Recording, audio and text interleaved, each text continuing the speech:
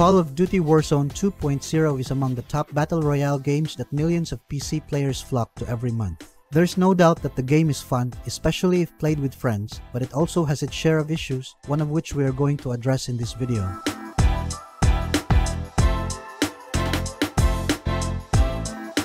By the way, please like and share our videos to help those who might have the same issues so that we can help them too. Once you're done, then let's begin. Fix number 1 Toggle voice chat in the game. The voice chat feature sometimes gets stuck, especially if you've been using it for a long time. Fortunately, disabling and enabling the voice chat feature in Warzone 2.0 is sometimes enough to get it working again. Here's how it's done. Launch the Call of Duty Modern Warfare or Warzone 2.0 game. Open the Options menu.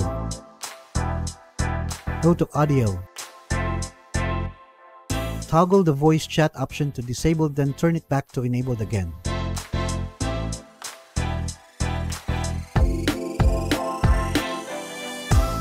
In the voice chat device, make sure that it's showing the correct microphone or device.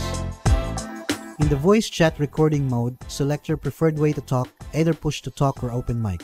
If you're using push to talk, be sure to press the correct button when talking to your friends in the game. Otherwise, simply use the open mic option. If you're using open mic option, Put open mic recording threshold and voice chat volume to 70. Before you save the changes, make sure to enable microphone test to see if your microphone is working. Disable microphone test when you're satisfied with the settings afterwards. Run Call of Duty Warzone 2.0 again and see if the problem returns.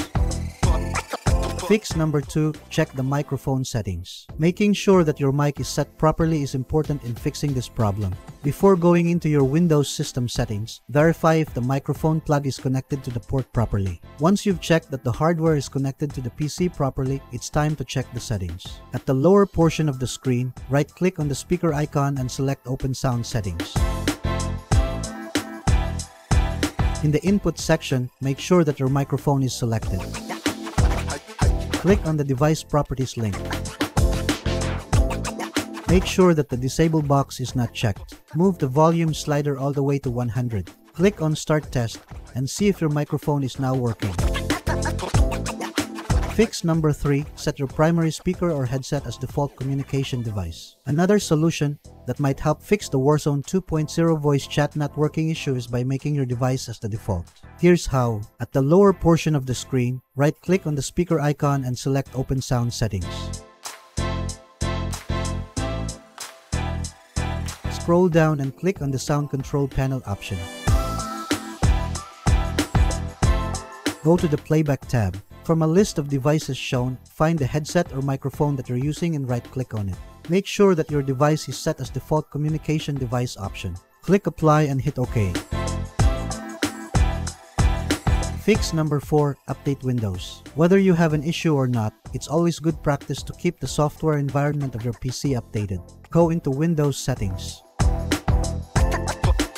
Update and Security.